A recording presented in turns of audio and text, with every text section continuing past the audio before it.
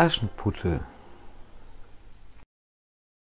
Am anderen Tag, als das Fest von neuem anhub und die Eltern und Stiefschwestern wieder fort waren, ging Aschenputtel zu dem Haselbaum und sprach Bäumchen rüttel dich und schüttel dich, wirf Gold und Silber über mich. Da warf der Vogel ein noch viel stolzeres Kleid herab als am vorigen Tag. Und als es mit diesem Kleide auf der Hochzeit erschien, erstaunte jedermann über seine Schönheit. Der Königssohn aber hatte gewartet, bis es kam, nahm es gleich bei der Hand und tanzte nur allein mit ihm. Wenn die anderen kamen und es aufforderten, sprach er, das ist meine Tänzerin. Als es nun Abend war, wollte es fort, und der Königssohn ging ihm nach und wollte sehen, in welches Haus es ging. Aber es sprang ihm fort und in den Garten hinter dem Haus. Darin stand ein schöner großer Baum, an dem die herrlichsten Birnen hingen. Es kletterte so behend wie ein Eichhörnchen zwischen die Äste, und der Königssohn wusste nicht, wo es hingekommen war. Er wartete aber, bis der Vater kam und sprach zu ihm. Das, das fremde Mädchen ist mir entwischt, und ich glaube, es ist auf den Birnbaum gesprungen. Der Vater dachte, hm, sollte es Aschenputtel sein? ließ sich die Axt holen und hieb den Baum um, aber es war niemand darauf. Und als sie in die Küche kam, lag Aschenputtel da in der Asche, wie sonst auch, denn es war auf der anderen Seite vom Baum herabgesprungen, hatte dem Vogel auf dem Haselbäumchen die schönen Kleider wiedergebracht und sein graues Kittelchen angezogen.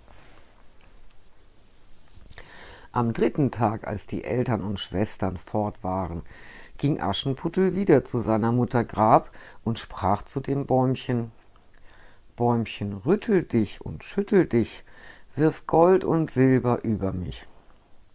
Nun warf ihm der Vogel ein Kleid herab, das war so prächtig und glänzend, wie es noch keins gehabt hatte, und die Pantoffeln waren ganz golden. Als es in dem Kleid zu der Hochzeit kam, wussten sie alle nicht, was sie vor Verwunderung sagen sollten. Der Königssohn tanzte ganz allein mit ihm, und wenn es einer aufforderte, sprach er, das ist meine Tänzerin. Als es nun Abend war, wollte Aschenputtel fort, und der Königssohn wollte es begleiten. Aber es entsprang ihm so geschwind, dass er nicht folgen konnte. Der Königssohn hatte aber eine List gebraucht und hatte die ganze Treppe mit Pech bestreichen lassen. Da war, als es hinabsprang, der linke Pantoffel des Mädchens hängen geblieben. Der Königssohn hob ihn auf und er war klein und zierlich und ganz golden. Am nächsten Morgen ging er damit zu dem Mann und sagte zu ihm, keine andere soll meine Gemahlin werden als die, an deren Fuß dieser goldene Schuh passt. Da freuten sich die beiden Schwestern, denn sie hatten schöne Füße. Die älteste ging mit dem Schuh in die Kammer und wollte ihn anprobieren, und die Mutter stand dabei aber sie konnte mit der großen Zehe nicht hineinkommen, und der Schuh war ihr zu klein. Und sie quetschte ihn trotzdem hinein, den Fuß, und es fing an zu scheuern und ein bisschen zu bluten. Aber sie verbiss den Schmerz und ging hinaus zum Königssohn. Der nahm sie auf sein Pferd und ritt mit ihr fort. Sie mussten aber an dem Grab vorbei, da saßen die zwei Täubchen, mit auf dem Haselbäumchen und riefen Ruckidikuck, Ruckidikuck, Blut ist im Schuck. Im Schuh immer noch. Der Schuck ist zu klein, die rechte Braut sitzt noch daheim. Da blickte er auf ihren Fuß und sah, wie das Blut herausquoll. Er wendete sein Pferd um, brachte die falsche Braut wieder nach Hause und sagte, das wäre nicht die rechte. Die andere Schwester sollte den Schuh anziehen. Da ging diese in die Kammer und kam mit den Zehen glücklich in den Schuh, aber die Ferse war zu groß. Da steckte sie trotzdem den Fuß in den Schuh und er scheuerte auf und es fing ein bisschen an zu bluten.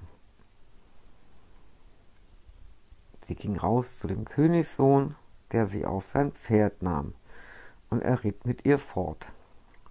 Als sie an dem Haselbäumchen vorbeikamen, saßen die zwei Täubchen darauf und riefen Ruckidiguck, Ruckidiguck, Blut ist im Schuck, Blut ist im Schuck. Der Schuh ist zu klein, die rechte Braut sitzt noch daheim. Er blickte nieder auf ihren Fuß und sah, wie das Blut aus dem Schuh quoll. Da wendete er sein Pferd und brachte die falsche Frau wieder nach Haus. Das ist auch nicht die rechte, sprach er. Habt ihr keine andere Tochter? Nein, sagte der Mann, nur von meiner verstorbenen Frau ist noch ein kleines, verbuttetes Aschenpuddel da. Das kann unmöglich die Braut sein. Der Königssohn sprach, er sollte es herausschicken. Die Mutter aber antwortete, Ach nein, das ist viel zu schmutzig, das darf sich nicht sehen lassen. Er wollte es aber durchaus haben, und Aschenputtel musste gerufen werden. Da wusch es sich erst Hände und Angesicht rein, ging dann hin und neigte sich vor dem Königssohn, der ihm den goldenen Schuh reichte. Dann setzte es sich auf einen Schemel, zog den Fuß aus dem schweren Holzschuh und steckte ihn in den Pantoffel, der war wie angegossen. Und als es sich in die Höhe richtete und der König ihm ins Gesicht sah, so erkannte er das schöne Mädchen, das mit ihm getanzt hatte, und rief, das ist die rechte Braut. Die Stiefmutter und die beiden Schwestern erschraken und wurden bleich vor Ärger. Er aber nahm Aschenputtel aufs Pferd und ritt mit ihm fort. Als sie an dem Haselbäumchen vorbeikamen, riefen die zwei weißen Täubchen Ruckidiguck, Ruckidiguck, kein Blut im Schuck, der Schuck ist nicht zu klein, die rechte Braut, die führt er heim. Und als sie das gerufen hatten, kamen sie beide herabgeflogen und setzten sich dem Aschenputtel auf die Schultern, eine rechts, die andere links, und blieben da sitzen. Als die Hochzeit mit dem Königssohn sollte gehalten werden, kamen auch die falschen Schwestern. Und Aschenputtel, nach ihrer Hochzeit, hat sie glatt noch verheiratet mit zwei Ministern am Hof. Gute Nacht, ihr Weltenträumer, schlaft recht schön.